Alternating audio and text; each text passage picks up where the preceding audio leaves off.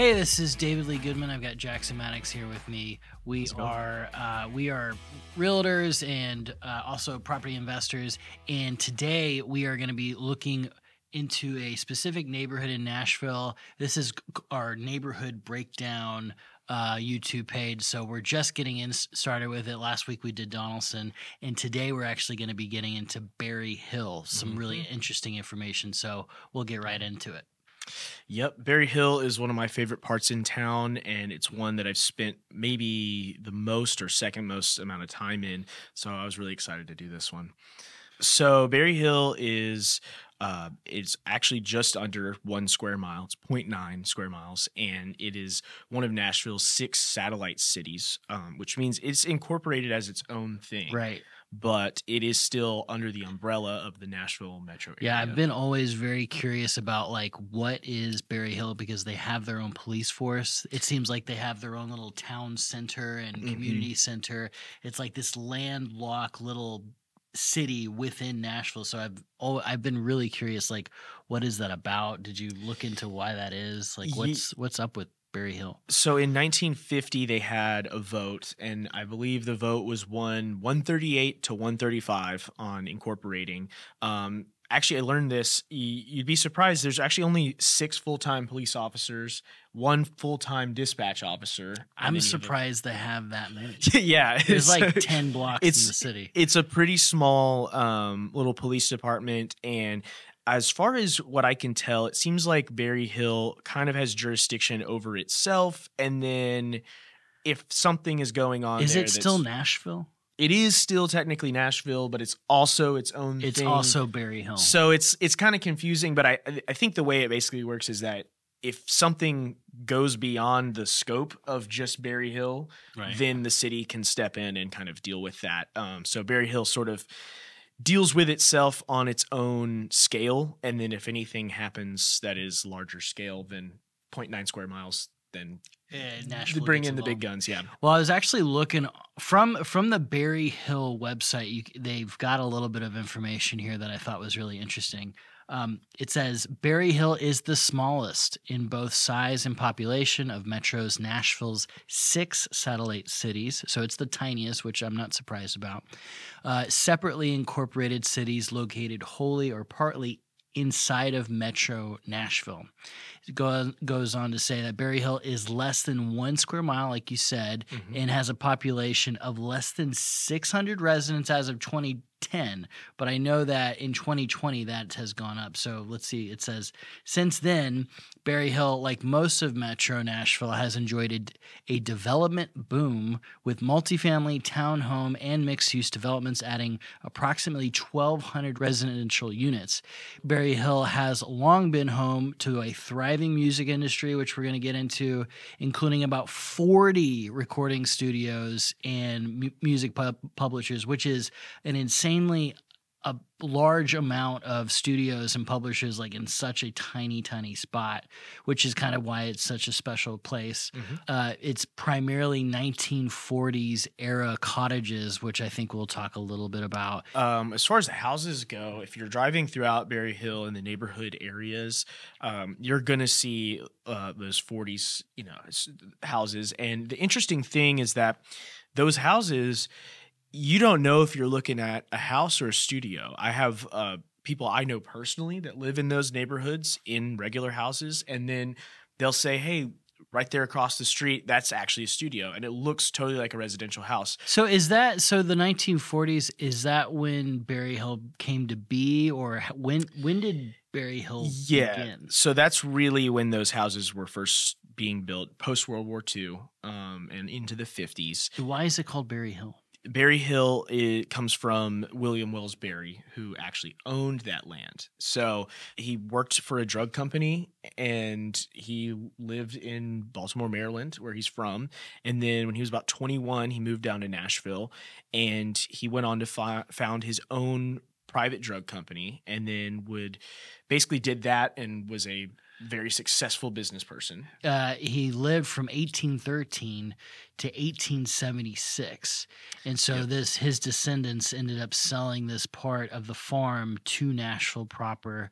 Um, didn't get a lot of in, like history other than he was a businessman, right? Yeah. and he was quite successful. But I mean, what's really interesting to me is that when he was doing all of this, like William Berry himself uh, was in the middle of the Civil War Yes. you know and he was accumulating a lot like during this like really crazy time and ended up came from maryland which is like the north came Mhm. down to the south bought a bunch of land and was like you know ended up owning a, a significant part of nashville that's gone on to be you know this kind of treasured part so Mhm. super powerful Yes. individual and actually you can find his gravestone interesting Mhm. fact at the uh, mount olivet uh, cemetery oh, interesting. you know so and cool. with a bunch of other i guess semi famous dead people from nashville Yeah. so uh he i did find that he was he is buried there now and so that's he's i guess that's i guess an interesting tidbit Yeah. so uh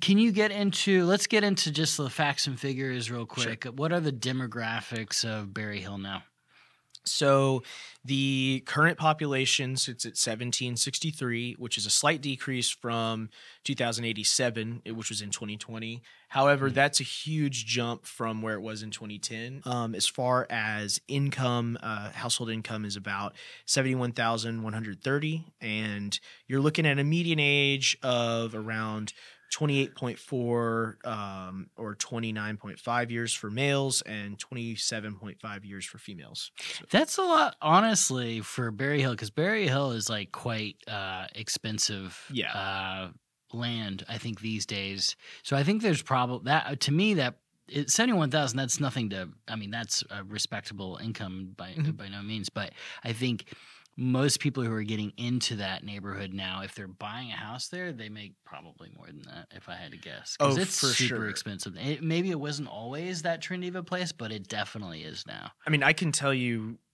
just from personal experience, um, from working in studios around that area, you, there are houses that will go up, you know, right down the street from some larger studios that are fully residential houses, and they're selling for eight hundred thousand because It's like a two-bedroom, one bath. And people want those houses because they're going to buy that and build a studio in there, or they're going to buy it and rent it out for people that want to be in proximity to those studios and just kind of the general vibe of what's going on in Berry Hill. And that leads me better, to yeah. like, so why or how did this little pocket of the city? Did you find out like why this little area has got so many music studios? Like, why is this yeah. spot for that? Oh, So in 1970, uh, some a man named Buzz Cason bought two houses in Berry Hill. Um, now he turned. Buzz Case. Would you say? He was a producer, and he Okay.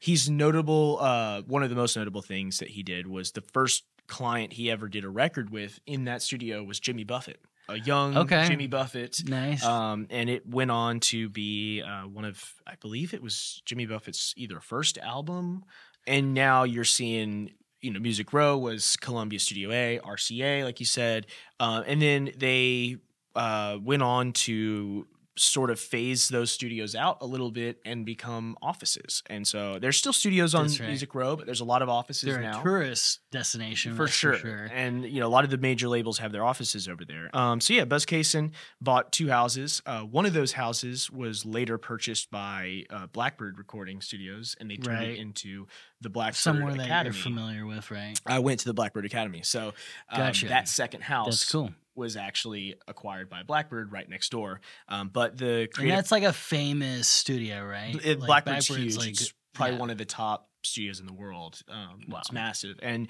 uh, the Creative Workshop still runs. They're just down to one building, and they have a really cool little setup in there. It's a very cool vibe. It's very 70s. They kind of stayed true to Ah, the original nice. vibe. Yeah. Um, so basically from there, you know, the, it just kind of caught on. And I think as the music Mhm. row became more corporate and more saturated and Yeah. values went up, people were looking for the next place to go. so that's how all those music studios came to be. Um, what about what else is in Berry Hill besides a few houses and music studios? Are there I know that. I know there's some great restaurants, Yes. coffee shops. Some of my favorites. I mean, Sam and Sam Zoe's is like one of the best co- Oh, coffee yeah. shops. And Zoe's is town. great. Actually, knew the owner of that and who sold it to who's there now. But Mhm. they have like some of the best lattes. Oh, yeah. I know Vui's Kitchen. Yep. It, that's what turned me on to like to Vietnamese food to Mhm. begin with, and they're a Nashville staple. Von Uh, Mees. what are what are what are your favorite? Since you spend so much time there, what, Yeah. are, what are your favorite restaurants and uh, uh, attractions to So- go to in that area? I am a music guy, but I'm also a food guy, and that's definitely one of my favorite parts about this area is they just Mm. have so many good places in such a small radius. You'll just never run out of options. So, just to quickly list off a few, we've got Baja Burrito over there. Um, Got to get our uh, Mexican food. Got to get our Mexican there. food in there. You know, we're from Texas. You got Big Second. Machine right there. They got their distillery and food as well, which is really good. Um, and then if you go, so that's kind of your Bransford and Thompson Mm, Right. uh, convergence area. But then if you go a little bit down from there into the Eighth Avenue area, you've got ML Rose, amazing burgers, Right. great beer selection. They have uh, they just got voted one of the best beer selections in town. Um, Mhm. Cilantro, another Mexican place. Mexican. Uh, they've got an East Nashville location as well. So Mhm. people may have had uh, from a different location Mhm. or that one. Mhm. And then um, my favorite breakfast place in Nashville is Maple Street Biscuit Company. Uh, I Mhm. went there with my girlfriend, so we're going to throw in some footage of that. Um, I just got to say, they have something called the Five and Dime. It is a biscuit, chicken, cheese, bacon, Jesus. uh, sausage gravy, an egg cooked however you want, biscuit. You cannot eat it as a sandwich, but it's presented as a sandwich. uh, it's totally just like a you just got to get in there and cut it up. But it is Nice. One of my favorite breakfast items I think I've ever eaten. Yeah. Um, they've also got these little cinnamon rolls that are really good. Oh my god. Yeah. So well, and th- some other recommend. places you have to check out too. So yellow, the yellow porch is kind of more fine dining. That's been there for a really long time. mhm. Um, we said Vui's Kitchen. Yep. Man, there's going to be others that we're just forgetting. Oh. Oh, the best vegan place in town. Or Sunflower if you're Cafe. into that sort of thing, is right in right, Right in on that neck of the word. Yep. Yep. Oh, one more. Um, this is another one that we actually went to this week. Um, Mofongo Cafe. It is a Mm. Cuban Oh restaurant. yeah. Uh, my good, girlfriend got the Cuban sandwich. I Mhm. got the steak sandwich. I think she ordered better than me, but they were both delicious. Um, it was so I've good. been there as well. I was I was trying to look for restaurants, and we had the Sunflower Cafe, and then we saw the Cuban place, and we're like, mm, Mm. I personally am not a vegetarian or vegan, so I just I saw the the Yeah. option that had meat, and it was right across the street, and we went it's there. Really. But we got two appetizers and two meals. Didn't even finish all of our food because it was so much, and it was like thirty bucks That's- for all of that. That's so hard to come by. it's, I mean, yeah, it's hard to find these days, and it was amazing. well, that's awesome. I, I really thank you for digging into Absolutely. Berry Hill. It was fun. Um, man, if you guys have any questions about the area, or if you're interested in learning more about Nashville, we're doing these uh, we're doing these uh, films or these videos on specific areas in Nashville.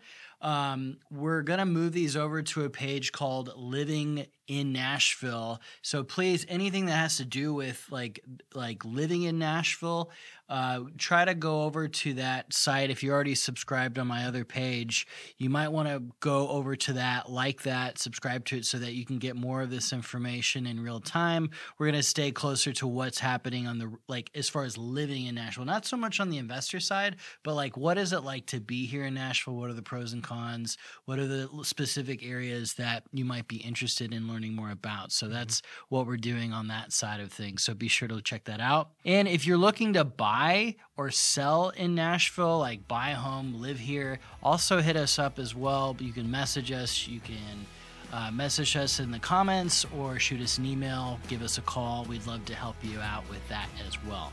So, uh, uh, with that, we'll say thanks again for watching and we'll see you next time.